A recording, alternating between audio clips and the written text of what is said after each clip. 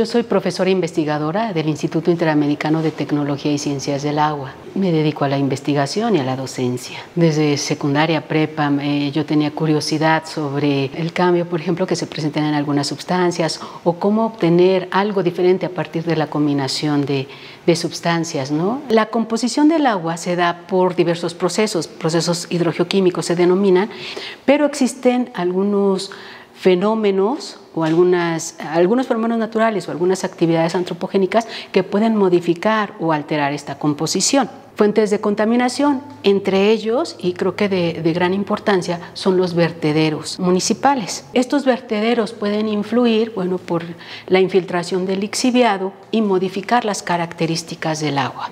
La materia orgánica disuelta puede inferir en estos cambios o puede introducir algunos de los elementos traza o elementos potencialmente tóxicos, los puede introducir al agua y estos generar un, un impacto en la salud. Dentro de los elementos traza podemos hablar de los metales pesados. Entonces lo que tratamos de hacer es de investigar en qué concentraciones se pueden encontrar estos. Esto ya se establece, existen rangos donde me pueden clasificar el agua como, como de buena calidad, excelente, deficiente, eh, inaceptable. A partir de hace un par de años yo he implementado técnicas a microescala con el fin de reducir costos, ajá, costo de los reactivos y principalmente eh, disminuir la generación de residuos tóxicos. ¿no?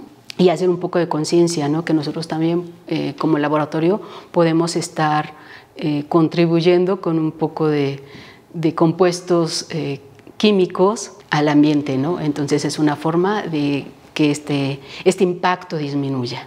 Nuestra labor ha sido eh, sembrar esa curiosidad ¿no? a, las mujeres que, que nos preceden.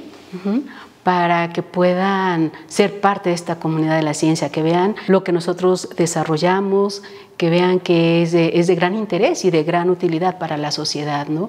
Ahorita temas del medio ambiente pues es, es prioridad, ¿no? que vean que hay otras técnicas y que hay otras formas de llevar a cabo la ciencia. Somos YMX.